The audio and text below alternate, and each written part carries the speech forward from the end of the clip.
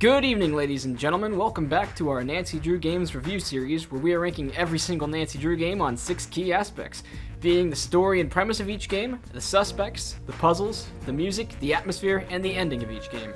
I'm your host, Jameson, And I'm Julian. What's going on, everybody? and today we're joined by our special host, Sylvia, who we haven't seen in a little while. Hey guys. And today we are reviewing Nancy Drew Secrets Can Kill Remastered. Okay, this game is technically, what is it, case 22 and a half? Yeah, it came out just before Shadow at the Water's Edge, I think. Both this game and Trail of the Twister have the Shadow at the Water's Edge teaser at the end, so that's something. And this game's, it's different because it's obviously a remastered of the very first game. And it was nice of them to do this because both the first and second game are pretty much unplayable today. It's Which on is- really old softwares that one really can't play on now. Yeah, either of those games only work on Windows 95 or 98, and they require like a special display. And so now I have to figure out how to get like a VMware or something so that I can trick my computer into thinking that it's a Windows 98 crap top so that I can actually play them for the channel. So that's going to be an arduous journey, but otherwise, uh, does anyone have any initial thoughts or remarks on this game before we go ahead and get into it? I appreciate it. I there's obviously some great improvements in the graphics. The story remains almost the same. There's a good twist at the end, but there are still some notable, some notable.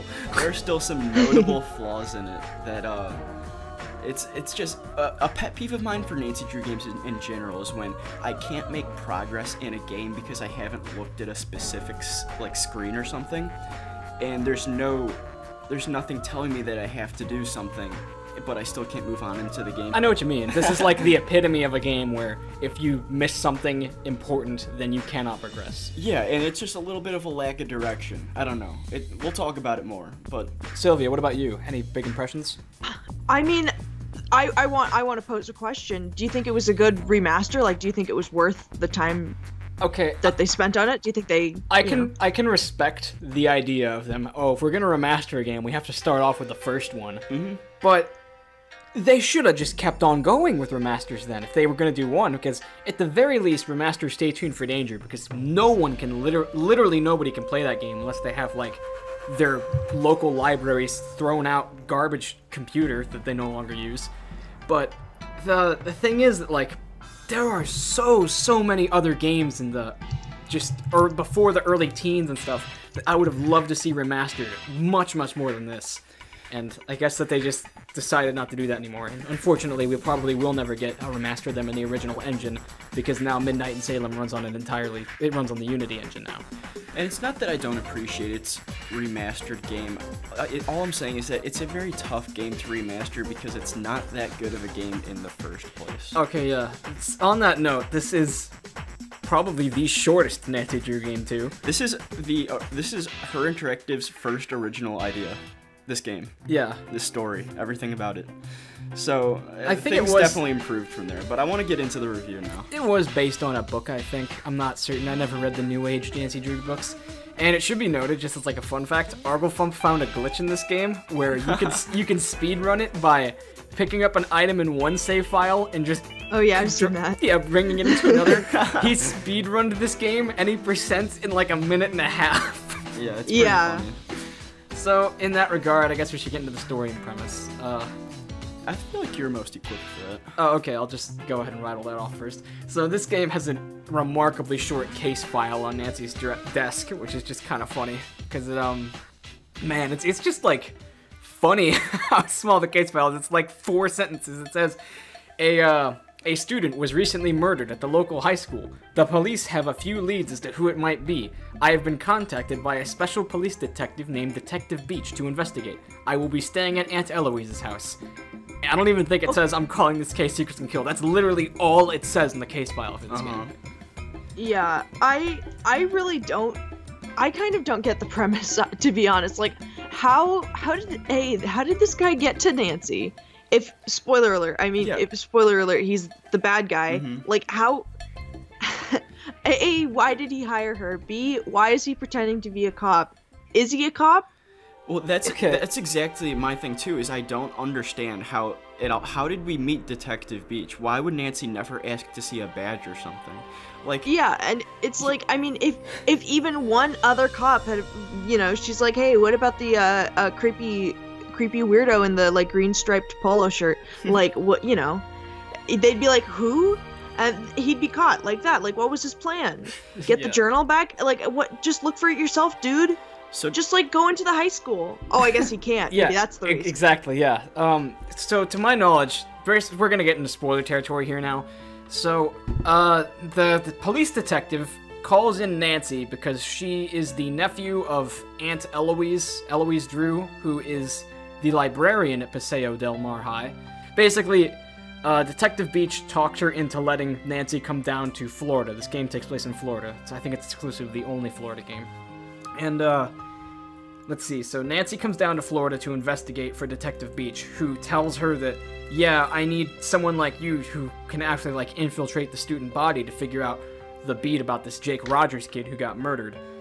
But really, he's just trying to get his journal back, which Jake Rogers stole from him because he was an idiot who dropped it on the floor of a diner that never has any customers. Something weird I thought about this game was they kind of depicted Jake Rogers as like an omniscient immortal. He's just all knowing and he's leaving his clues on an elaborate scavenger hunt for Nancy to find. Okay, we should we should wait for puzzles to talk about that because there's Yeah. a lot to say. There. I know, but it's it, it, it's just a very nonsensical game if you think about it. But- all of these precautions Jake took to hide his little clues around the school. But that wasn't even like a story mechanic that like necessarily Jake knew all these things.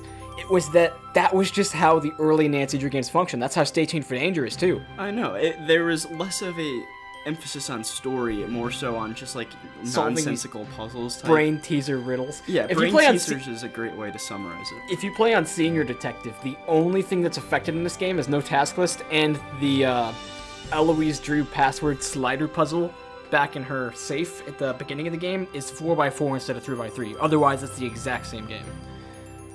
Uh, so, so merging back into the premise, we meet uh, three three suspects at the school and then one at the diner. And what I really liked was all their dialogues about Jake. Everyone hated this guy. It was pretty fun to talk about. I think I'm just gonna go ahead and say right here, suspects is my favorite category in this game, and that's not even to say these are astounding suspects. I just think that in the remaster, they nailed the dialogue as to having Nancy just say like flipping burgers. yeah, there was From the first game. there was some horrible dialogue options in the first game, but um, uh, this game you could actually lump together with the other games that have five suspects, because technically the remaster does have five if you count Detective Beach, even though he does turn out to be the culprit. But otherwise, I think that the first person we had to talk about then is probably Connie, and I think Sylvia called dibs on her. So whenever you're ready. Yeah, Connie is the hall monitor. She sits in the lounge, I believe. She's got sort of like a secret thing going on. She like entered this judo competition for men. She entered it under uh, like a pseudonym, and she was like wearing a mask, like the uh, first Spider-Man movie. Um, So that's not and a red she like totally wins, you know. Yeah, she like totally wins, so she has to like keep it a secret. And there's a lot of secrets in this game. To be fair, they they did put a lot of secrets, Yeah. um, and they put a kill in there. So you know, pro- golf clap for the game Yeah, for that. the Um, title. it- it's a good title. Um, but anyways, uh, she oh she wants to date um the guy who works at Maxine's diner, uh, Daryl Gray. Yeah. She's got a big big old crush on him. Doesn't he have like a sports car or something? Yeah. yeah, He does. he likes to technically, yeah. flex a lot. So, one thing that I think is just kind of like there's no point in trying to hide it till the end. The main theme of this game is that the reason Jake had so many enemies is that he was like a master of blackmail, where basically all the suspects in the game, he finds out some sort of dirt on them and then uses it to blackmail them. Like for Connie, it's that he knows that she was the masked judo champion and she's having a lot of money trouble with her family right now, and she needed that prize money to make ends meet. And so like he's holding it over her head now and like making her I don't know, just give him special treatment in the halls and stuff and like let him go to the bathroom without a pass. It's never really discerned what Connie's doing for him. But otherwise, like Hala Tanaka, who we talk about in a minute, he does all of Jake's homework for him because Jake found out that he was plagiarizing a paper and he's blackmailing him. He hires Hulk Sanchez, who's like one of my favorite suspects. Oh He's yeah, the maniac he hires Hulk as just like blackmailed into a, being a personal bodyguard. And with Daryl, his whole thing is a bit more complicated, and we should get into that for the end game. But otherwise, is there anything else we want to say about Connie, whose name we can't remember? Maybe the kanji symbol that she has? Oh yeah, she wears a little necklace around her neck, and it's what's it? It's the The kanji symbol symbol? The crane. The crane. The crane from the judo. That's uh, right. I was trying place. to remember what it was. That's kind of suspicious because once we piece together, first of all, what her symbol means, the crane, and that we have this mysterious figure who won this men's tournament, you can put two and two together. That was a little piece of information that I liked about her. And I mean, okay. Also, uh, in the newspaper, there's a lot of articles in this game. There's a lot of reading. Mhm. Um, but in the article that like has the judo like tournament covered, it's like the name she entered under was Nineco, which isn't just an anagram of Connie, and it's really obvious. Yeah. Because what what they don't even like like I'm an I- idiot. I read that as Ninico. I thought it was like some sort of Spanish name or something. Okay, I, I guess I'll take Hal Tanaka now. I think Jamie would like to review Hulk, but I do like Hal to some degree. His entire thing is that he is a exchange student from Japan, and he feels a great deal of pressure to get straight A's for his parents, for his family, so that he can someday. Uh, Become a doctor. He's dead set on becoming a doctor. yeah, he wants to make his family proud by becoming a, a doctor, and obviously the first step for that is to do well in high school, go on to do great things in college, etc. But he's got a pretty good secret. He's plagiarized a paper for his English class, and somehow, I guess Jake's got cameras somewhere. He noticed that Hal was doing this, and he's holding it against him. In return, Hal has to do all of Jake's homework. And I like that this game didn't depict the guy who was murdered as some innocent little dude. I kind of like that they made him this kind of dirtbag. Yeah, that that was interesting. I remember that, like um, we we talked to Hal first, and we played this game with our dad, and same as all the other games. And so we talked to Hal first, and he says like, uh, "Oh yeah, Jake Rogers was not really a good guy or something." And Dad just goes, "He did it." and then we go talk to Connie, and Connie calls Jake scum, and she goes, "Okay, maybe she did it." And then we talk to Hulk, and he says the same thing. Some creep Jake Rogers. Dad just like was, Yeah. "Okay, I see a pattern here." Hal is the most polite suspect. I don't know why it is, but him and Hulk were my two favorite people to talk to in the game. They just had interesting thoughts when it came to Jake, and he just seemed like a guy that I could vibe with in high school. Maybe uh, make a study guide with. Who knows? yeah. It should be noticed that um, Hal also has like his locker right next to Jake, which will come up in puzzles for one little sequence of events. But otherwise, Hal's subplot just begins and ends with you talking to him about Jake, and then figuring out that he committed plagiarism, and then you like tell him that he has to tell the school board, or you will, and like and he says he will. He owns up to it. yeah, he does. He doesn't even try to deny it. He has dignity. hmm That's why I like him. All right, Jamie, you want to take the one and only Hulk? Okay, yeah. So Hulk Sanchez, I think, probably was uh, remastered best of the characters in this game from original to the second, because in the first game he was just like, he, I don't even know what to say about He's him. just the perfect stereotypical meathead. Yeah, I, in the first game it should also be noted that all the animation was actually hand drawn and everyone looked like cartoons, and I kind of digged it because it looked much better than the animation in games two through six, but around like games seven and up, the characters began to look more lifelike, I'd say. Mm-hmm. But still, he he's a funny guy. There's a part of the game where you figure out that there is a special code you can push on the soda machines that activates an alarm that just starts blaring. And if you do it in Connie's room, then she just gets all angry at you and turns you into the principal and you get in trouble. And if you do it in front of Hulk, he just goes, "Nice one," and then like, Yeah, I, I yeah, You, I like you that. gotta talk about his injury too. "Oh yeah." So He's got he's a huge college prospect. Yeah, Hulk is like looking at a huge college scholarship, probably for his athletics. He and Alila Yadav would probably get along to an extent. uh, but otherwise, he recently had an injury at one of his games, according to Hal. Hal is one of his biggest fans, and I thought that was so wholesome because you'd know. expect like the jock to bully the nerd. But Hal says, "Oh my gosh, Hulk is my hero. I love that dude." Another reason why I like Hal. yeah, and as far as I know, Hulk likes Hal too. It's not like it's a one-way thing. They're just buddies, and that's just so cool. But uh, otherwise, yeah, Hal says that Hulk took a bad injury in one of his games lately, and he hasn't been able to play the same ever since, and it might affect his chance to play college ball. And Hulk's dirty little secret that you figure out maybe a little more than halfway through the game is that the recent the recent pharmacy break-in that happened in the Paseo del Mar was actually him, and that he broke into a pharmacy and stole a big bag of hectanol, which is a kind of steroid.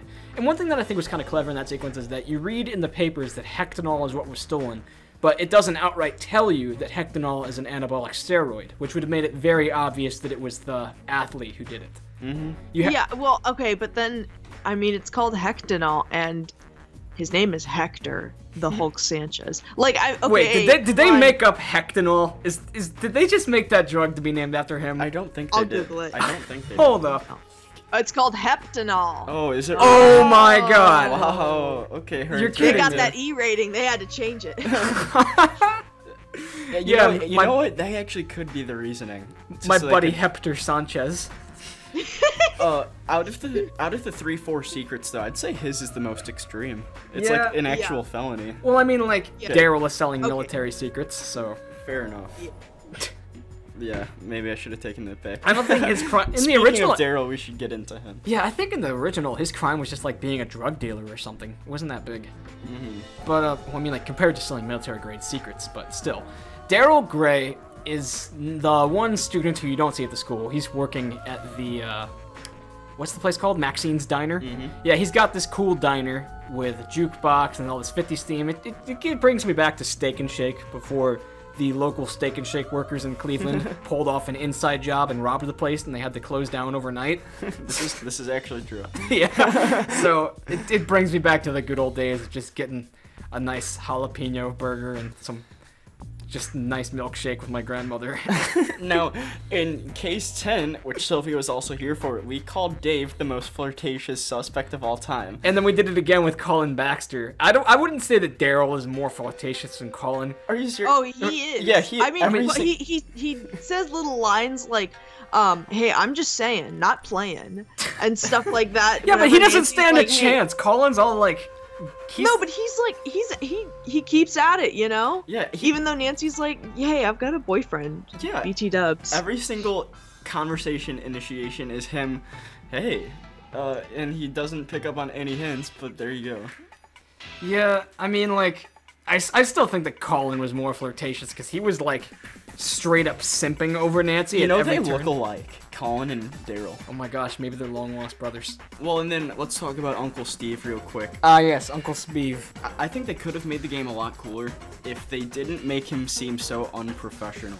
Yeah, Like he was every almost every instance with him is uh, him forgetting something or him losing his temper or just it's just little things that you pick up on that make you realize right off the get-go that he's not who he says he is. It's a little too obvious. Oh, also he's ugly. He's so so ugly. He looks like he belongs on How to Catch a Predator. Yeah. yeah. he's not he's not convincing. He's not tr- he's not trustworthy. I wouldn't trust him. Mm-hmm. He looks a little shifty, and the fact that he doesn't even like he doesn't even know who Nancy is staying with, but he, you know, I mean, he's like, "Oh, come to me undercover. I'm your Uncle Steve," and he doesn't even have a name prepared for the aunt. He's like, "Uh, Aunt who? Aunt who again? And what was her address?" You know, I feel like he was just like trying to get that so he could like, I don't know, I, I, I didn't, Yeah, it, I didn't trust him. it's just unprofessionalism and just like quirky things like that that his story doesn't make sense. Mm-hmm. But uh, that wraps up suspects. I want to jump into. Oh wait, wait, wait! Uh, and you would be Mitch forgiven for forgetting him because you never see him. Yeah, Mitch Dillon. Yeah. Yeah. um, the- he's the the, culprit of the game that boiler, we never the boiler, meet. like yeah, he's like the handyman or something. Um, he's apparently real shady though. So One reason why I just can't stand the ending of this game is the culprit is someone you never meet. Yeah. What the heck? So Mitch Dillon, you you get a phone call from him in this game at least, which is just kind of like intentionally funny. Where as soon as you leave the teachers' lounge, you get a call from uh, uh, Mitch Dillon HVAC repairs or something, and it goes, "I'm warning you, Nancy Drew, stop meddling or else." And then Nancy just calls him right back, and he goes. Mitch Dillon HVAC repairs. How can I help you? And she goes, "Hey, you just called me and threatened me." She's like, uh, "No, I didn't." She's like, "Yeah, you have. I have caller ID. I saw it was you." this guy is such an idiot. That was weird that they decided to put that phone call in the game because it like kind of makes things really, really obvious. I think that the big reveal they were going for was just that there's a different culprit and it's not Mitch Dillon. It's this other guy we made up. For the remastered version of this game, it would have done the green it would have done the game a great service to have him as an animated character you can talk to. I mean, in the original game, you got to have like a pseudo shootout. I mean, you got Oh, you had to like Yeah. knock the gun out of someone's hands, like pick it up. The ending of Uh, this game in the original was just so so crazy, but I don't think there's any place for us to talk about it here, and hopefully we'll be able to review it whether or not we've been able to play it firsthand. Otherwise, yeah, Puzzles. puzzles. It's it's time to get into the puzzles in this game. Now, I can award this game on having maybe four or five puzzles. That's Yeah. all. yeah, that's about fair. So the one word to describe puzzles is brain teasers. You like playing this game, you can instantly tell there's a different vibe in the puzzles.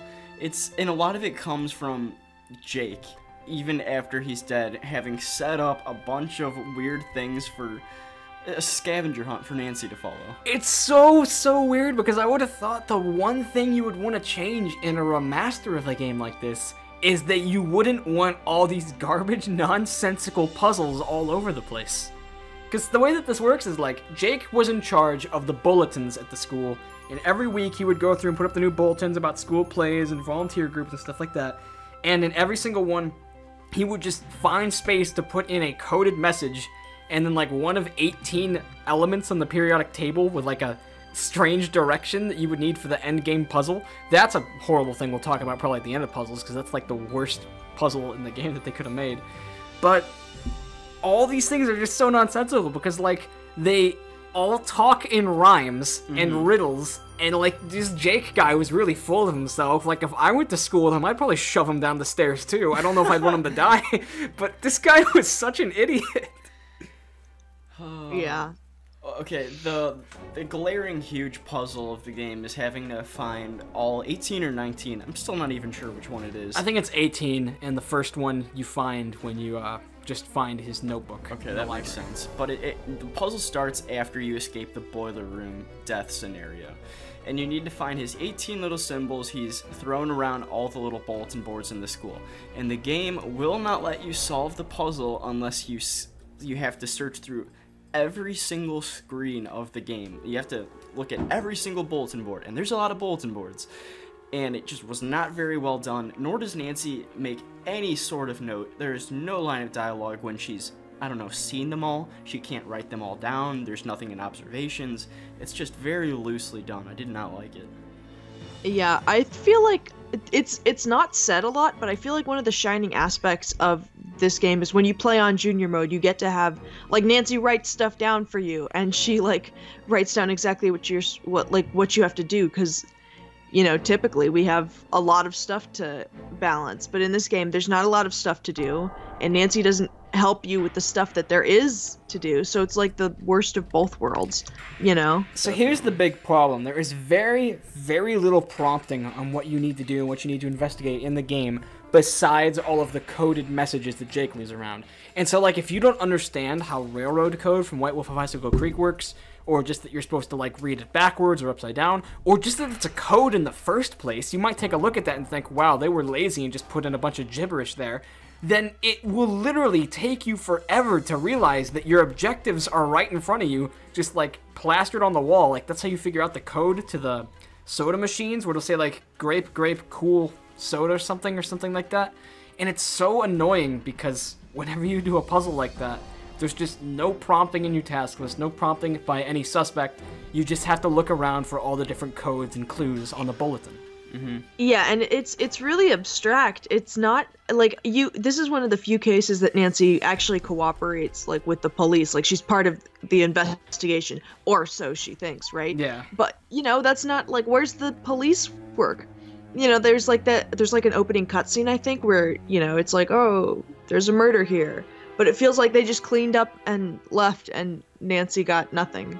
And so now she's she's just reading the bulletins in this school. That's her investigation. You know? Okay, s- Like what? yeah. What? something I don't get is that, you know, after a student dies, there's going to be uh, initial police search through the school and everything. Somehow they missed in the library there is an open journal with Jake's signature on it with a bunch of clues. Yeah. like why was nobody giving any red flags to this journal? Uh, it doesn't make any sense. Also, right under that seat is his end game puzzle with like, gosh, what's even in that box? Is that where It's he the keeps videotape. That's the second videotape, then, yeah. Mm-hmm. Because there's two. Okay, so And then other than the main overarching puzzle of finding all the elements, converting them to astrology signs, whatever it is, nothing else is really that notable. You get like two little cheeky puzzles right at the start with a slider puzzle and entering Greek symbols into a safe. That's not much of a puzzle, but it's something. And then other than that, what else is there? Like the boiler room puzzle, I guess the soda puzzle. is there there's seriously only five in this game? there's opening Jake's locker, which is just clever. I feel like I could have used more direction because there are very little times in the franchise where Nancy's supposed to use her phone to figure out a puzzle, so people probably wouldn't have thought that far. Where if you ask Jake Hal if he knows anything about how to get into Jake's locker, Hal will say, "No, I don't," and that's all he says. Then you go talk to Hulk, and he says, "Eh, "Maybe Hal would know. He was right next to Jake." And then you have to ask ask Hal again. It should be noted that you have to ask him two times. And then the second time he says, one day Jake said he couldn't get into his locker, and he said it would be helpful if he had his phone handy. And so the way that it works is that in order to get into this locker, you're supposed to look at your phone keypad for all your digits and determine what three letters you get for every number that's on the phone. Like one would be A, B, and C, two would be D, E, and F, and so on. You, if you ever had like an old track phone, then you know the struggle. And basically, you just figure out what four let numbers spell out the letters J, A, K, E for Jake's name, and then that's the combination. I think it's just five two five three or something. Okay, that's a good puzzle. I don't think it was. It was clever, but there was no direction for it. Yeah, lack of direction, but clever. I don't know. Wait, there's seriously nothing to indicate that Jake has to be the. No, th- there's not very much. I mean, maybe there's like a bulletin board, a riddle somewhere, but all that Hal tells you is that Jake once said, I couldn't get into my locker, sure wish I had my phone right now. Yeah, I get. I mean, that's the one huge flaw of this game is lack of direction. So, it's clever. I can not- see where they were going. It's that they subjected all of their direction to reading riddles written by a madman on bulletin boards. You know. Oh, okay. I guess uh, puzzles is truly not much to say. The end game isn't even that intense. You just have to enter three wrong combinations, or at Well- least tell Detective Beach to enter three wrong You combinations. know, no, no, let's let's just wait till we I get to the end game because I think that the end game was kind of. Yeah, kind I kind of like that. Yeah, I like that. Okay. I mean, it, okay, it's a little bit, on the nose. you know, it's a with little her. bit look up, but we'll, we'll get to that. All right, moving on to music then. Now, seriously, I don't, I don't think music's that bad. It's pretty catchy. Music's pretty good. I like like I commented on the long play that you had. That one track uh, that was like the Phantom of Venice remixed I like dance track. That's that kind of was like really good, Yeah, right? To be hard. fair, that's Phantom of Venice soundtrack, but at the same time, Okay. I think it's cool that in the remaster they included a jukebox and Maxine's where you can use quarters to just like play music. Also, we got Barnacle Blast, the game, coming back from Haunted Carousel. That was a fun one. Could we actually play it? Yeah, you just needed a quarter. Oh, okay. Yeah, we didn't do anything with the currency in this game. But um, you know, okay, uh, looking through the soundtrack, each song has a really weird name. It's like almost incomplete. so- that, that's not very important. It looks to me like for when they were naming the file sizes for this game, they were just like, oh, okay, that's the MP4 file for the Aunt Eloise music. Just title it A N T H O U, and people will know. Oh, that's Ant House. Why would they? Okay. But I don't. I don't know. I don't work for Her Interactive. That's also my favorite track, though, is Aunt Eloise. There weren't that many tracks, but there were a couple that were pretty good. It should be noted that this track does reappear in some other games almost as an Easter egg. I know you can hear it Legend of the Crystal Skull on the cemetery scale model. We'll go ahead and play it right here.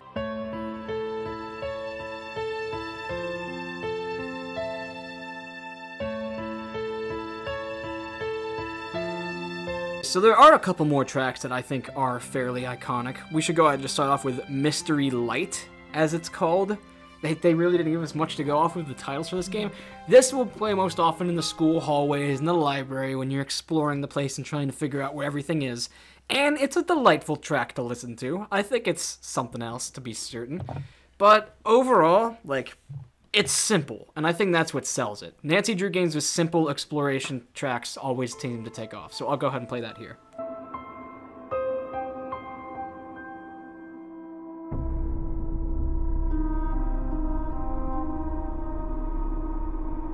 This game had such so many out of place songs that were on the jukebox. This one had like like Asian Oriental music that sounds like it's out of Shadow at the Water's Edge, and it also had like yeah. Hawaiian music and I guess we could just play little clips of those here and there, but it was just such a. Did those games come out already, or was that like a teaser? I guess it was a teaser. I I mean, like Kapu Cave was already out, but this was the game before Shadow at the Water's Edge. But the thing is, that music was in the original too, to my knowledge. They just had Huh. all sorts of really, really weird music that was on the jukebox that had no place in the game. It certainly has no place logically being on a jukebox in a vintage '50s diner. So Yeah, what's the time period for this? Because if you know, if there's a game that goes into the 1930s, is this like a game in the 19 like what? This is 1998. I, guess that they were just trying to go for a vintage steak and shake vibe with Maxine's Diner, but it, it's weird.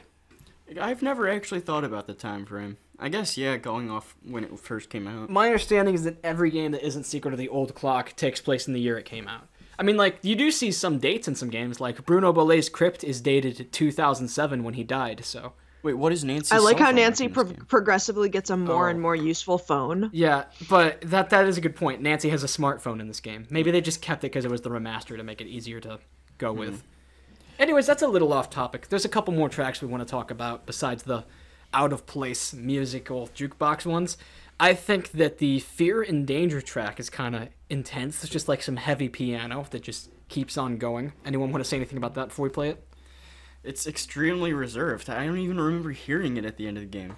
Maybe that one was more in the original too. I think it was. It's not necessarily the danger track, but either way, it's just like the alternate suspicion track. We'll play it right here.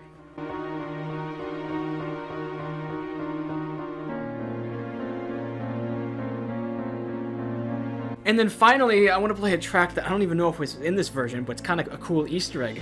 This is the excitement track from Secrets Can Kill, and it was certainly in the original game because, little known fact, in Game 1, this was actually the title music for the franchise. Stay Tuned for Danger was the first game with the iconic startup theme with the whole da na na na na na na. Yeah, that's a classic. Instead, Secrets Can Kill, the original, had this as its title music.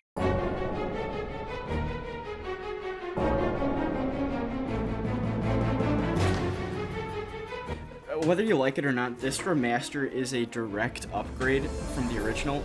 For one reason in particular, there's not discs that you have to insert Yeah. to go Oh. from place to place. Okay, yeah, I don't even know if you could have bought the original digitally, but the original game, another, th- you know what? We'll just put that in here, I guess, because it's just we're just roasting this game of everywhere. I mean, there's only two locations, right? Three, maybe. Three, but Aunt Eloise is, is extremely underused. Yeah, man, there's um, literally you had to pop in disc one and disc two accordingly if you wanted to go to different places. This was like the old Flash game that they had at the computer lab when you were in first grade. It's it really, really has a lot of age to it. I don't know if I think Stay Tuned for Danger might have been that way too, but then like the rest of the games were two discs to install but only disc one to play, which was the right move. I want to move into Atmosphere now, and I'm gonna say it. I think Atmosphere limits this game again. Yeah, having three locations isn't the best, and one of those locations is virtually obsolete for all of the game. Yeah. Sylvia, do you have a favorite? Um, I mean, the diner was pretty cool. I wish you could actually. Oh my gosh, can you imagine? Th- this game would have been like 50 times better if you could like order all the weird stuff that's on the menu. Yeah, and like actually thirteen dollar like. cheeseburgers. Yeah, you know. Well, okay, that's a lot of money. They'd have to add, add add a way for us to make money, but you know what I mean? Uh, my favorite part of the game, I mean, it's probably the school just because of what it offers, but specifically in the school. I gotta say, this is a nice library. It's a decent library. I appreciate the old '90s esque green lamps with like the cool incandescent bulbs. I always loved those. Okay, but and I just remembered why I like this school.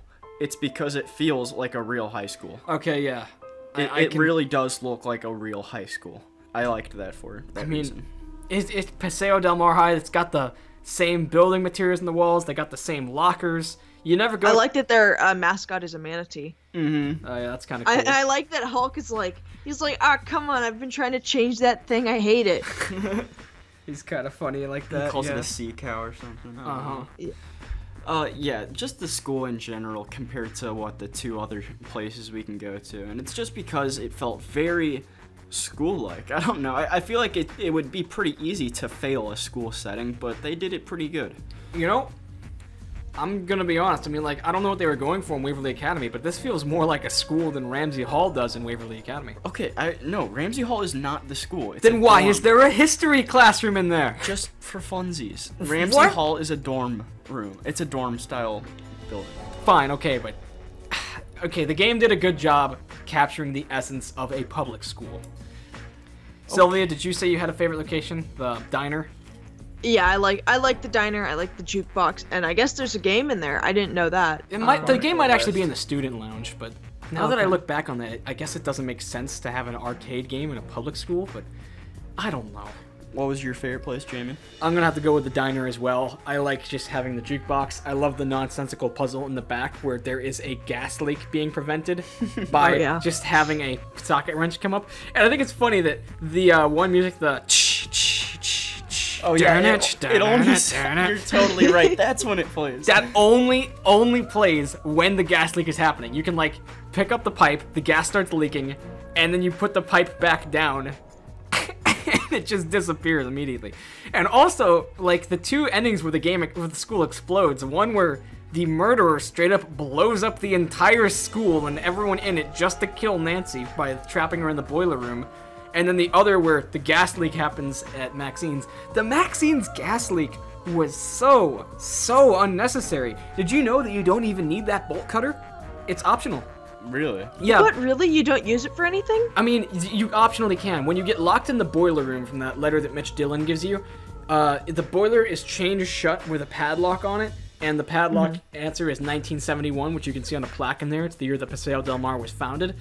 And Nancy can either just cut it off with the bolt cutters, or she can figure out that that's what the password is and just put in 1971. You- I like that she can. There's like this alternate Nancy. Like you can either play her like really observant, or you just play the uh, Brute me force. steal, me cut open chain. Yeah, I like that alternative too, and that you, you know that never clicked in my head that sequence is completely unnecessary. Yeah, and also She replace. just waltzes right into the kitchen. That is not a valid way to fix a gas leak. I just I just want to make sure that everyone A who played this game understands. Like I, I mean, soup okay. ladle. Yeah, there's nothing that's more like stable that you. I like. I don't know, a chunk of wood. Like it. A spoon is like the most circular object in a kitchen you can have. that's not structure. oh my god. Okay. Okay. I say we jump into the ending now. So This is where I mean we start to see a little differentiation from the first game at least. I'll go ahead and give the rundown of this. So there are two pivotal uh, videotapes that you find in this game. The first one being in after Mitch Dillon sends a letter to Daryl Gray to get you to come down to the boiler room, and it says like, "I have the answer to your mystery. Come meet me in the boiler room at Paseo Del Mar High." And so Nancy gets down there, and the boiler's at full throttle, and she has to like set it off before the school and everyone in it explodes. Nancy finds a videotape down there on her way out, which she then takes back to Aunt Eloise's houses and pops into that classic 1998 VCR, where she sees three different distinct videotapes. The first is of uh, Hal copying a essay written by Prudence Rutherford in into his essay. I don't know how they weren't able to figure out that this was a 100% published essay by Prudence Rutherford. Plagiarism is not that easy to get away with. You can't just copy word for word from a book. That's that's like that's not even how real plagiarism happens, but still. And then uh, Hulk Sanchez, he gets like a video of him putting a box of steroids in his school locker, which I guess was incriminating enough just to show him holding a box. And then he shows one of Connie coming back to her locker and just taking off the mask and putting it in, revealing that she's the masked judo champion. But there's nothing particularly about Daryl Gray in that videotape, which is really interesting, because that is in the second videotape, which was Jake's highest priority, top tier blackmail that he had. And that was the Daryl Gray and his dad's business situation. So once you solve the weird 18 step puzzle underneath Jake's seat in the uh, library, you get a second videotape. And this is where really the end game begins. Nancy, I mean, first you can go ahead and confront everybody about all of their uh, sins and misdeeds and say, hey, I know that you're stealing and using steroids. I know that you committed plagiarism. I know that you did this and snuck into this competition. basically, with Daryl Gray, you prop in this videotape. In the original game, I believe he was like a drug dealer or something, and he may have actually worked together with Hulk to steal the steroids from the pharmacy. But in this game, he has a very strange plot where he has been stealing blueprints for like technology and weapons and stuff from his dad's factory. It's like military grade equipment and secrets. And he's been selling them to Mitch Dillon, the school janitor, who apparently is fencing them off to some higher power. I don't know if it's a foreign government. Maybe he's working with the Fredonian government with Yanni Vokstaya. there's, there's no real telling. Jake figured this all out when Detective Beach, who he shows his videotape of on the VHS. By the way, you hear Jake narrate this whole thing, and he sounds like a jerk, but it's kind of funny. He has like the snobbiest voice. He's a goofy guy to listen to. I liked it. Yeah, he. Oh yeah. Sp- speaking of the end of that, I really liked the the end of that where he's like, I'm gonna be retired at 17. "Yeah, I'm gonna be retired at 17." So by the time you watch this, which like sort of like snaps you into the realization of, "Oh crap!" Like, oh man. He's and then he's like, uh, he's like, "Yeah, I'll I'll be you know living it up on the beaches. I'll be living And the he, high life." he shows the flyer of Dread Isle from Ransom of the Seven Ships, like, yep, this is where I'm going. I don't know. And then and then like with the knowledge that he, this guy got this guy got murked. yeah. This guy got killed and now and like the guy that did it or like is involved with it has been the guy that you've been like blabbing all the secrets to. Yeah, basically, know? what happened that went wrong with Jake's plan was that Detective Beach lost his notebook at Maxine's diner, which Jake picked up because Jake worked there with uh, Daryl. And he realized that it had all of these super, super expensive blueprints and stuff that he was going to sell to someone uh, with the highest bidding. So he made an arrangement to meet with Mitch Dillon that midnight at the school to go ahead and barter with him and, like, just say, all right, I'll give you this bet to me if you give me this much money. And apparently, it did not go how Jake intended because Mitch shoved Jake down the stairs and he died of his injuries. Jake didn't actually have the journal with him. He discloses in the videotape that you find at the end that he taped it under a book cart in the school library. And it's so infuriating because you walk past this book cart all the time and you can never look at it. And if you're replaying this game, you know that the solution mystery solving diary is right under that book cart and there's nothing you can do about it. But anyhow, just as the videotape ends, Deus Ex Machina, or more like Satan Ex Machina, you hear the door open and Nancy just goes, uh, Aunt Eloise, is that you? And so she walks out into the foyer and just Detective Beach and his ugly polo are just standing right there. And here we get one of the. Uh, uh, it's not the first official instance of a gun being drawn. I guess the original has that. Where Nancy title. picks up the gun and puts it in her inventory and has to point it at Mitch Dillon. Yeah, but Detective Beach straight up pulls a gun on Nancy. What Boom. happens is he says, "Hey Nancy, I was just wondering if you had new leads with that uh with the case, you know." And Nancy goes, "Yeah, as a matter of fact, I just found this VHS tape that shows me where your journal is." Oops, I, I mean the uh, Jake's journal. And he goes, on. But why does Nancy. Nancy say that though? I know, It's just Ah! like, no, on, you said my journal, Nancy. Come You said on. my journal. And so he goes, how about we go move into the living room and have a nice chat? And he just pulls an M1911 on you. Yeah, that was shocking. It's it's actually really really funny because if you look down the barrel of the gun at a certain angle, you can see that they forgot to render the end of the barrel, so it's just like a hole the hole that goes right through the gun. oh, really? yeah, you can like see his shirt on the other side. That's pretty good. All right, but the solution is that you have to tell him the journal is stashed away in the safe, Aunt Eloise's safe. That was the very first thing you have to do in the game. Yeah, if you mess up the safe combination, we didn't show this to Dad, so he was very confused. Uh, if you mess up the combination to her safe three times in a row, her anti-burglar alarm comes down, dropping a massive jail cell from the ceiling right on top of Nancy. And so it's a clever ending where you can tell him like, uh, she has to like, now tell me, Nancy, you get three chances. Where's the journal? And you can say like, oh, it's in you the drawer. get three chances. That's Yeah, yeah. just so dumb. oh, it's in the drawer, oh, it's under the coffee table, stuff like that. But you want to tell him, oh, it's in the wall safe, and just keep on giving him the wrong combinations. Uh, one thing that I think was kind of clever was that not everybody who plays these games knows the Greek alphabet. I don't know it for sure, and surprisingly, apparently, Detective Beach does. If that's even your real name. Yeah. I mean, that's like a hard puzzle, isn't it? Well- like, how's he, you know? It's it's kind of Is he like having to research on his phone? Like, okay, what what what, what, what was that one? Move five five theta. yeah, it's funny because like uh, Nancy, he'll, he'll go like, "What's the password, Nancy?" And then Nancy has to say to him like, "Oh, it's Delta Phi Sigma Kappa or Sigma Phi Kappa Kappa." And the- Sigma, the, Sigma, Sigma, Sigma. the thing is, if you give him the right combination, because one of those answers is the right combination, he'll open it and realize there's nothing in there. And so you have to kind of remember back to the game. Crap, which one was it? Okay, I don't think anything repeats. It's definitely not Delta Delta Delta Delta. Basically, you just have to make sure you pick the wrong option three times in a row, and then the burglar alarm falls down on him. I mean, realistically, he has a gun with him. yeah, he I- could shoot you through it. yeah, I don't know why he doesn't like just hold Nancy at gunpoint through the slats of the bar. But um, I mean, she she was in the other room, wasn't it? They saved on animation for this part. no, they, they show him in the jail cell, Yeah. implying that Nancy's right there in front of him. Well, I'd be, dude, I'd be gone. I'd be, I'd, I'd be gloating from the other room. I would not double check. Yeah, Nancy just jump bucks right out the window, yeah. I, I seriously would. Okay, But so- there you have it. Nancy's first game in the books. unless you count Secret of the Old Clock, which she solved about 60 years before. Yeah. Very mixed feelings on this game. Uh, the endgame letter basically just wraps up that everyone comes clean with their crimes and no one really goes to prison besides Jake.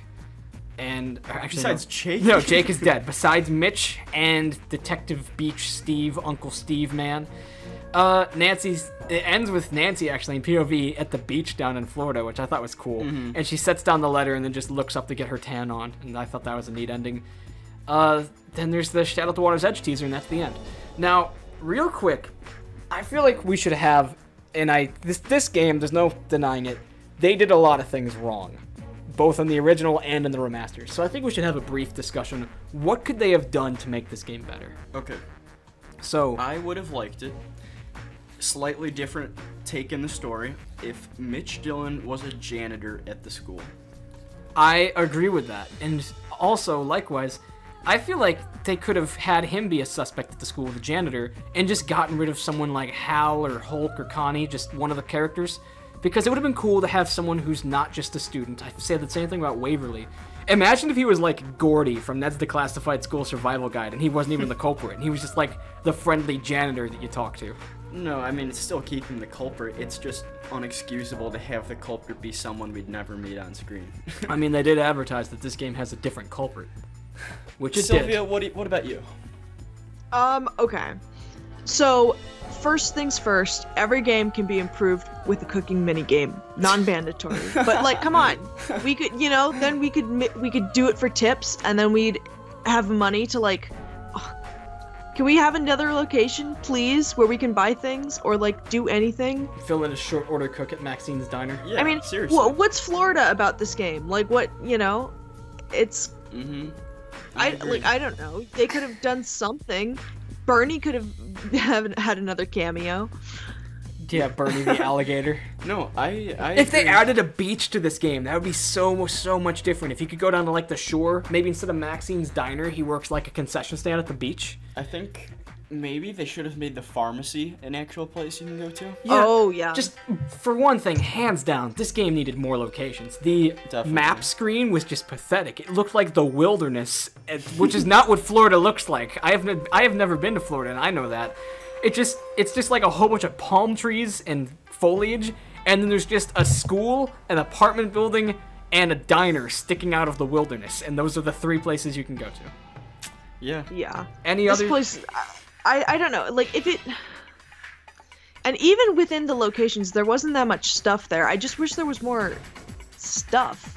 It, you know, if you're gonna t- take the time to remaster a game, you may as well just look at look at the previous game as like the bones, and know that everyone expects a real, you know, breathing game. You know, something with some mm, some meat on those bones. You know, I mean, just feels like Secrets Can Kill two.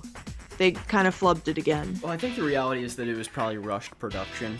Probably, it came out in between two games. I mean, okay, yeah. To be fair, then Shadow at the Water's Edge, which has been like a long stay in this series, came like right after this. But I mean, if you're gonna, and they never tried to remaster anything else unless you count like the the like iPad release of Ghost of Thornton Hall or like you know what I mean. Man, I just I wish that they didn't stop remastering games here. If this was just as bad as it is, and they said, okay, rough start, but we're gonna keep on trying to remaster them, that would have made me so happy. Even if like Stay Tuned for Danger Remastered had the same weird brain teasers, just getting remastered Message in a Haunted Mansion and seeing chiseled CGI Louis Chandler's face, that would be amazing. but Yeah, I it, well like now they're gonna. This is the best chance they're ever gonna get for that. Is now, you know, taking whatever assets they can or you know repurposing textures etc for the unity engine and then rebuilding yeah i mean could you you know it's possible. Think- we could see some like, I- remasters in the Unity engine. I don't know Alrighty, let's get they'd on have to add they'd have to add a lot to make this game worth remastering again though i would have to i, I add that Yeah, I, I think that's off the table. We should probably go ahead and get into the ranking series, the ranking part of this review. So real quick, I'll go ahead and just give the quick rundown. The way that we do these games is that we rank it A through F because we don't like to give numbers out of 10 because some Nancy Drew games are better on paper than they are in practice. So A is good, F is just horrible, and then S tier is the best of the best reserved for the greatest Nancy Drews in the series. Who wants to go first? I'll take the reins first. Okay. The story of the game is probably the weakest part, and then Suspects is probably my favorite part. Uh, the atmosphere limits at a ton. I don't know. To be specific, what I don't like about the game is there's a lack of instruction for puzzles. The puzzles as a whole are nonsensical, and I'm still convinced that Jake is some immortal person.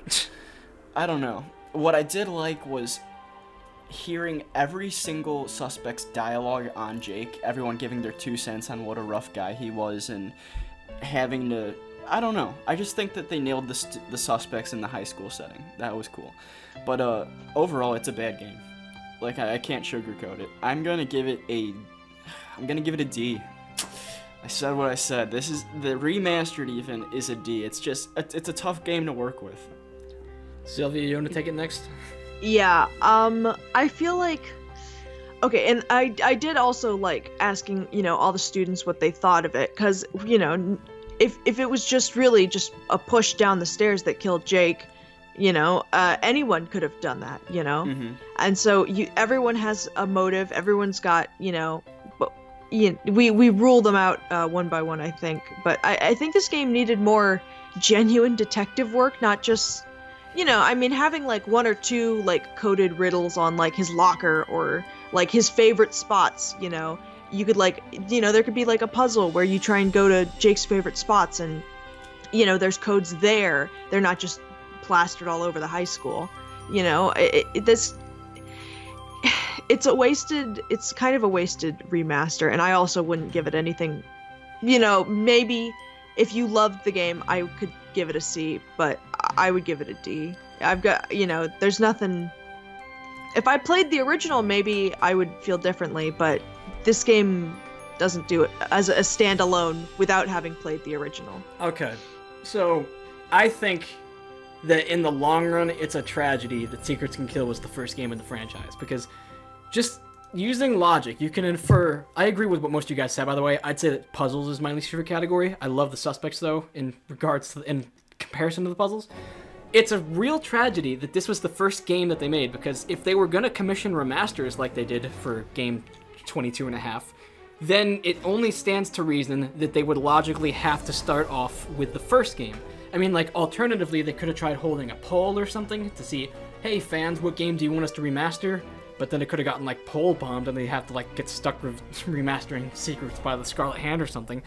But the problem is that so, so, so many other games deserved a better, deserved a remaster much more than this one. In ter- Ghost dogs. Ghost Dogs, Danger on Deception Island, Secret of Shadow Ranch, Final Blackmoor Scene, Manor. Treasure World Tower, Blackmoor Manor, Mm-hmm. Message in a Haunted Mansion. I mean, it's just, it makes me cry to think of all the games I would have so much rather seen remastered. They wouldn't even need to add new puzzles. The, all pu- the original puzzles in those games were just fine, but this game had horrible puzzles to begin with. And I feel like you had to cut it some slack the way that it was in the first iteration of the game. Uh, that was the first go with the franchise. It was the best they could do. But the fact that they didn't even change anything from the first incarnation to the remaster is just kind of disheartening. All that being considered, this is probably going to be my first and only F for a Nancy Drew game. I, Wow. I, it's Fair. I would say that I like the original more than this because it's it's just so annoying that they thought that they would remaster this game and do it so poorly when any other game they could have remastered with less effort, less new endings, and less new characters, and it would have been better just because the base game was good but with outdated graphics. That concludes our review for Nancy Drew Secrets Can Kill Remastered. We will do our best to someday be able to review the original Secrets Can Kill, as well as stay tuned for Danger and Secret of the Old Clock once we figure out how to get that to work. But otherwise, we hope you all enjoyed our review, everybody. It's always a pleasure to have Sylvia around for these. Yeah, it's always a pleasure to be here. I, I like I like talking Nancy Drew with the boys. Yeah, it's, It's a um, it's a pretty short game, and we figured that in order to make it the length of a regular review, it'd be nice to have a third voice of reason. Mm-hmm. Otherwise, stay tuned for the Captive Curse review. That is, I, I have some opinions on that game. It's a great one. banger of a game. Yeah, I always love that one. Uh, otherwise, we hope you all have a good weekend. Take care, everybody. And vote for Holt. Vote for Holt, everybody. Vote for Holt.